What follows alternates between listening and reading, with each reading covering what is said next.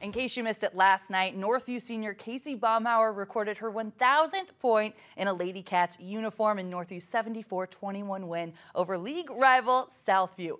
Baumhower entered the game needing 20 points to reach the milestone. It came in the third quarter when head coach Pat Sayer drew up Baumhower's favorite play for her special moment.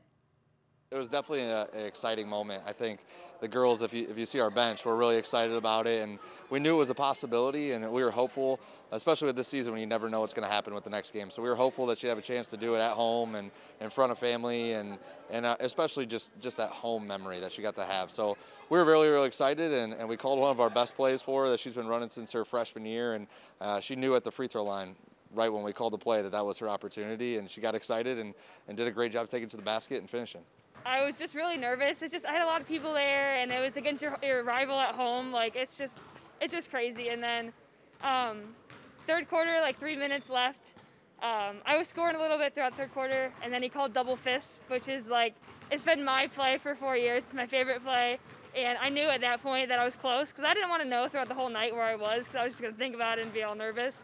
And as soon as he called it, I knew my time was there, and luckily I made the layup and won. And I just the, the faces of my teammates and how everyone was so excited. It just it was so like warming and just knowing like the support that I have around me. And there it is. There it is. 1,000 points in her career as a Northview Lady Cat. It was special, especially knowing like I could never play on the score the scored again and. that, these four years have been absolutely insane, and I've cherished every single moment of it. So knowing I could get it against Southview at home in front of my parents with my teammates. It was it was absolutely amazing. I think it says a lot of not only about her athleticism but a lot about her hard work. She's put in time. She's she thinks the game at a really high level. She puts in the time to, to shoot and to dribble and to work with trainers and to run outside of practice. So um, she's just really the definition of hard work and what you can achieve when you put that time in.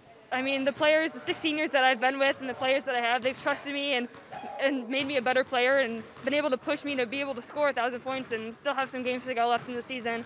And it just shows the support that we have with the coaching staff and the amount of trust that they've given me, the amount of opportunities that I've had throughout the four years. And I'm just lucky enough to be able to have this moment with them. She's special. I mean, she's special to me. We have a, a really special relationship. And um, I, ever since I, I, got to meet her at camp, I know I've shared the story a few times, but she, she was the first one to challenge me to one-on-one. And she's just a little seventh grader. I'm like, who is this? Who is this girl? And at the time I beat her and I was proud of myself, but now I'm smart. I don't play her anymore.